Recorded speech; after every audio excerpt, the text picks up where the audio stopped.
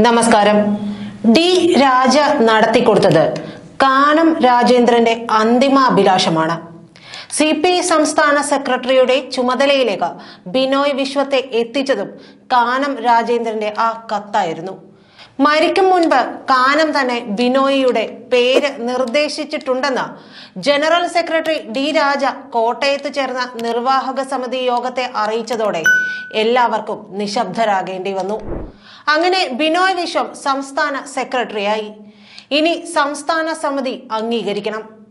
അപ്രതീക്ഷിത അട്ടിമറിയാണ് ഉണ്ടായതെന്ന വാദവും ശക്തമാണ്. സെക്രട്ടറി ആയിരിക്കെ വിട പറഞ്ഞ സി കെ ചന്ദ്രപ്പന് പകരക്കാരൻ വന്നത് മാസങ്ങൾ കഴിഞ്ഞാണ്. ദേശീയ നിർവാഹക സമിതി അംഗം കെ പ്രകാശ് ബാബുവിന്റെ പേര് കാനത്തിന് പകരമായി ഉയർന്നിരുന്നു. എന്നാൽ അത്തരം ഒരു ചർച്ചയ്ക്ക് പോലും അവസരം നൽകാതെയാണ് കാനത്തിന്റെ ഇഷ്ടമനുസരിച്ച് അദ്ദേഹത്തിന്റെ മരണശേഷം പകരക്കാരൻ എത്തുന്നത്. സി പി ഐയിൽ കാനത്തിനുള്ള സ്വാധീനത്തിന്റെ മറ്റൊരു തെളിവായി ഇത് മാറുകയാണ്. ലോക്സഭാ തിരഞ്ഞെടുപ്പിൽ ബിനോയ് വിശ്വം മത്സരിക്കില്ലെന്നും ഇതോടെ വ്യക്തമായി കഴിഞ്ഞു. സംസ്ഥാന നിർവാഹക സമിതി തിരക്കിട്ട് കോട്ടയത്ത് വിളിച്ചപ്പോൾ സെക്രട്ടറിയുടെ ചുമതലയിൽ തീരുമാനം കൂടി ഉണ്ടാകുമെന്ന് പലർക്കും അറിയില്ലായിരുന്നു.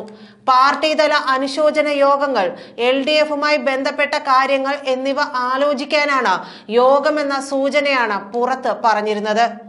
യോഗം തുടങ്ങിയപ്പോൾ അജണ്ട കേട്ട് എല്ലാവരും തന്നെ ഞെട്ടി.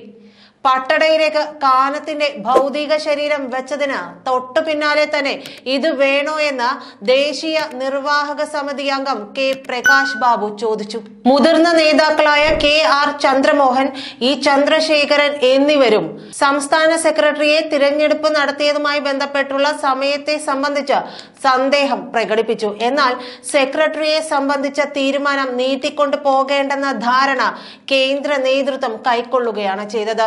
തീരുമാനം നീണ്ടാൽ അത് ഗ്രൂപ്പിസമാകുമെന്നും കരുതി.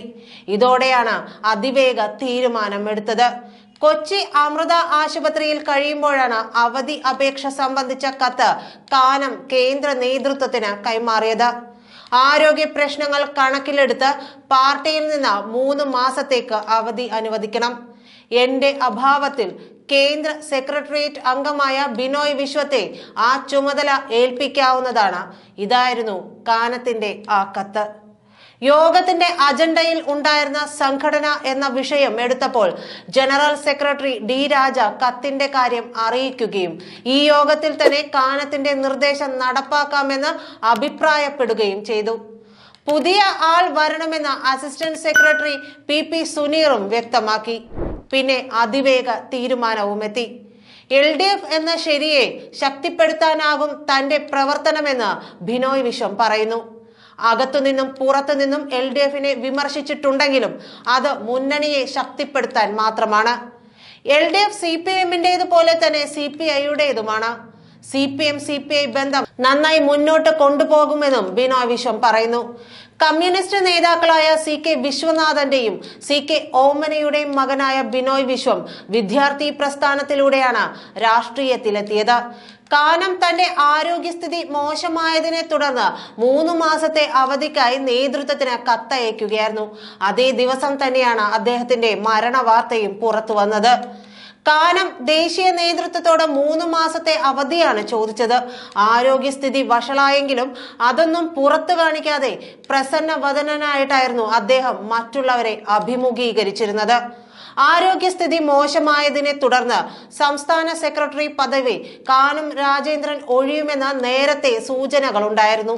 എന്നാൽ അങ്ങനെയൊന്നുമില്ല. താൻ ആരോഗ്യവാനാണെന്ന് വ്യക്തമാക്കി അദ്ദേഹം തന്നെ രംഗത്തെത്തുകയും ചെയ്തു.